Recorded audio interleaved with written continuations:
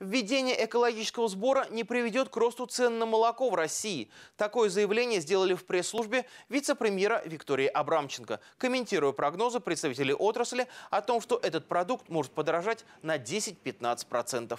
Напомним, что одобренная правительством концепция расширенной ответственности производителей за утилизацию тары обязывает их с будущего года перерабатывать всю выпущенную в оборот упаковку. В противном случае компаниям нужно будет платить экосбор.